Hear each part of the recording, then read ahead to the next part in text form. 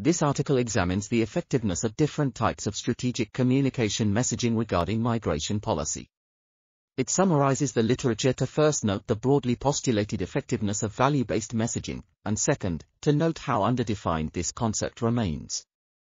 To overcome this shortcoming, I introduce Schwartz's psychological theory of basic human values and use European social survey data to visualize the relationship between these values and attitudes to immigration.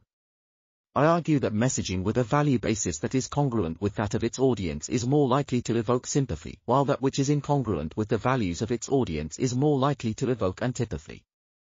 Given the value-balanced orientations of those with moderate attitudes to immigration, persuasive migration messaging should attempt to mobilize values of its opposition. That is, pro-migration messaging should mobilize Schwartz's values of conformity, tradition, security, and power, while anti-migration messaging should mobilize values of universalism, benevolence, self-direction, and stimulation.